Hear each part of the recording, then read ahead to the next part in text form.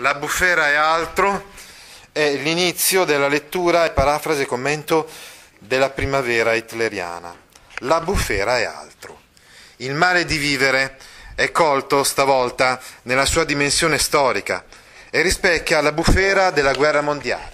Infatti, come ben ricordiamo, questa raccolta poetica, pubblicata nel 1956, eh, è una raccolta che contiene sia delle poesie pubblicate clandestinamente durante la guerra sotto il titolo di Finisterre, sia eh, delle poesie scritte in seguito e che hanno evidentemente già nel titolo, eh, già ci fanno capire che eh, la storia irrompe, la storia nel senso le vicende della, della guerra in sostanza, no? perché è evidente che, il, che, la, che la guerra eh, è rappresentata con, con questa bufera, no? qualcosa che ha travolto quindi eh, l'Europa, ha travolto l'intero eh, mondo, si può dire, no? una guerra mondiale. No? È una guerra che abbiamo detto ha ispirato, come vedremo appunto in queste poesie, ha ispirato alcune poesie di Montale, a differenza della prima guerra che pure lui aveva vissuto in prima persona come sottotenente.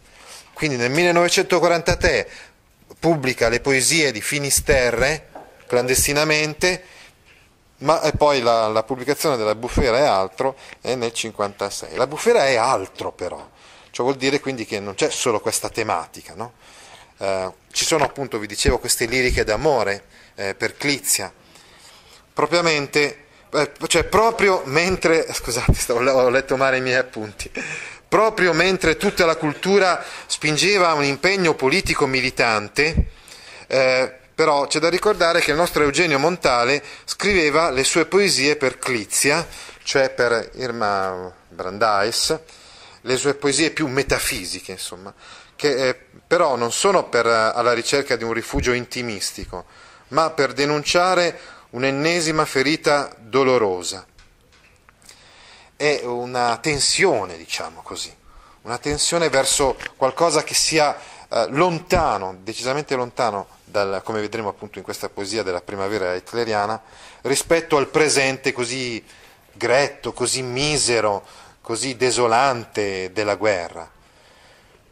Però è una raccolta poliedrica questa, perché appunto accanto a queste poesie, dicevamo, di Clizia, Finisterre, eccetera, ce ne sono altre che riguardano invece l'Italia dell'immediato secondo dopoguerra e quindi che esprimono la sua sfiducia totale nei confronti della politica, lui che all'inizio aveva aderito al Partito d'Azione, eh, sicuramente al Comitato di Liberazione Nazionale fiorentino e poi al Partito d'Azione che era di ispirazione liberale, con eh, una certa eh, spinta e anche un certo entusiasmo e che poi invece si trova all'inizio del secondo dopoguerra di fronte a un'Italia di eh, partiti contrapposti eh, di ispirazione popolare e non liberale, quali appunto il Fronte Popolare da una parte e la Democrazia Cristiana dall'altra, che eh, fagogitano, diciamo così, qualsiasi altro tipo di, eh, di, espressione politica. E infatti sostanzialmente il partito di azione andrà ad, esaurir, ad esaurirsi. E lo stesso Montale deciderà di far parte a sé, di non dedicarsi più assolutamente eh, alla politica.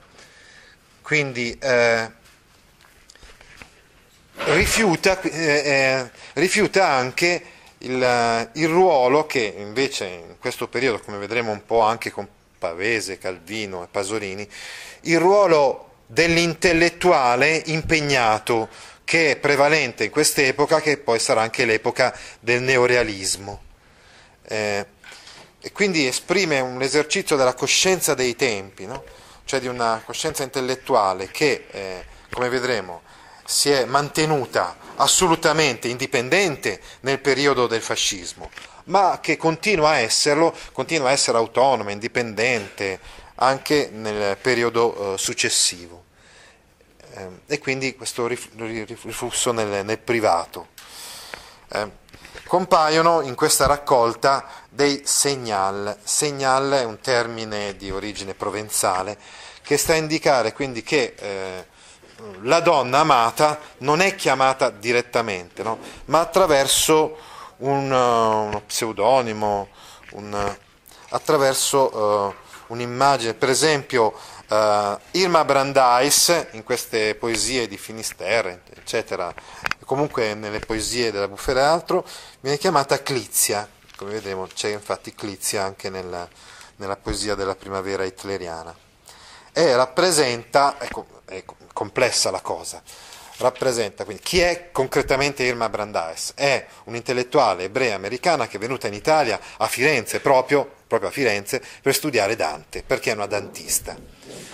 Ora il, il rapporto uh, con, con Montale è un rapporto che viene sublimato in queste poesie, tanto che eh, questa Clizia viene presentata quasi come una donna angelo in un certo senso. No? E, eh, perché eh, rappresenta un'altezza intellettuale della cultura, della poesia. Infatti questo personaggio, tra l'altro di Clizia, è un personaggio che è stato trasformato in, in girasole da, da, Apollo, ha a che vedere con Apollo e Apollo è il dio della poesia. Quindi eh, rappresenta proprio un'altezza intellettuale della cultura che eh, si differenzia rispetto alla desolazione della, della, guerra, del fascismo, del nazismo eh, contemporaneo, con del, delle cadenze che quasi, eh, con dei richiami dantisti, stinnovisti, eccetera, no? Che, eh, che, quasi quasi appunto hanno come punto di riferimento Dante, anche se ovviamente la prospettiva eh, filosofica e ideologica è completamente diversa rispetto a quella di Dante, giusto? Eh? Perché Dante, per Dante tutto quanto c'era, redu- c'era la reductio ad unum, tutto quanto comunque poi convergeva su una unità di fondo, mentre invece Montale rappresenta sempre eh, comunque una complessità, la complessità che non può essere ridotta ad unità. Poi però nelle poesie della Bufera ed altro compare un'altra donna, che è tra l'altro una poetessa, che si chiama Maria Luisa Spaziani, con un segnale diverso, un soprannome diverso, che è quello di Volpe. Quindi abbiamo varie donne, eh, poi vedremo la prossima volta, cioè domani parleremo della Mosca che è Drusilla Tanzi, che poi diventerà moglie di Montale, ma Volpe nella, tra le varie donne di Montale rappresenta l'Eros, cioè l'antibeatrice, cioè rappresenta la donna sensuale, e quindi il rapporto con questa donna, con questa poetessa, è tutto giocato su aspetti molto più carnali. Eh, appunto, e questo è il, dicevamo, l'immagine della, della, della volpe. Quindi, quali sono le conclusioni provvisorie di questa raccolta eh, poetica? Quindi si arriva ad un pessimismo radicale, a una totale eh, sfiducia nei confronti della, di qualsiasi eh, idea di cambiamento, di miglioramento della società, di senso della storia, proprio negli anni in cui si parlava del sole dell'avvenire, il sole che sorge, infatti poi diventò l'emblema del Partito Socialista, no? il simbolo del Partito Socialista. Proprio in quegli anni là in cui si pensava finalmente dopo la liberazione di poter creare una società nuova, giusta, lui invece eh, riconosce, si riconosce estraneo a tutto, anche estraneo alle nuove ideologie che hanno sostituito quella vecchia del, del fascismo. Estraneo a qualsiasi chiesa, sia la chiesa rossa sia la chiesa nera, cioè quindi sia la chiesa dei preti e dei sacerdoti che eh, portano avanti una, una visione provvidenziale, eh, finalistica, insomma, che non può assolutamente condividere. Sia però la Chiesa Rossa, lui eh, dice che il comunismo a quell'epoca allora si presenta quasi come una nuova Chiesa che si vuole sostituire a quella precedente. No, invece lui, eh, anzi, eh, pensa proprio che sia vicino e imminente una catastrofe e che la, la, terza guerra mondiale è proprio la dimostrazione che, che, l'uomo si può distruggere, si può autodistruggere e che magari lo farà. Eh, lo farà molto presto. E quindi si sente chiuso, quindi chiuso fra le ideologie, eh, vuole affermare una sua identità che è un'identità sempre intellettuale, culturale, di non appartenenza, non, sente di non dovere, di non volere appartenere a nulla se non a se stesso. Eh, e questo un po', queste sono le conclusioni. Dal punto di vista eh, stilistico, la bufera eh, è sempre su una linea alta, diciamo così, di, eh, di poesia, cioè non sarà la poesia così un po' colloquiale prosastica del, di Satura e delle ultime raccolte. Anzi, vedremo, leggeremo proprio domani una poesia molto intensa, molto ricca come la primavera eh, hitleriana.